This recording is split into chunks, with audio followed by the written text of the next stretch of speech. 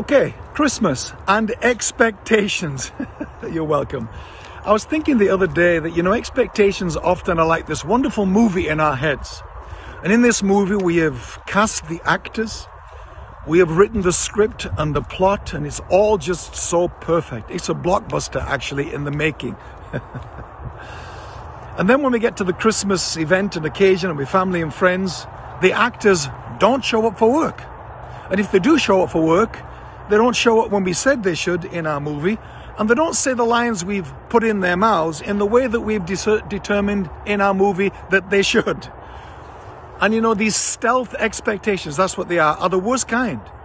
Because though they are stealth expectations, we still hold people accountable for them, which is the definition of setting ourselves up for disappointment and uh, upset and confrontation, even. So, my advice for you at Christmas is um, dial down the expectations, get rid of the blockbuster movie in your head, and get a cheaper version, and you might have a better outcome because to expect less is to finish up being pleasantly surprised, isn't it? To expect too much is to finish up inevitably managing disappointments and discouragements. So, um, we are not responsible for the movie in your head, and others aren't for the movie in your head. So maybe you can get rid of the movie, get a reality check. maybe that'll help you have a better experience at Christmas.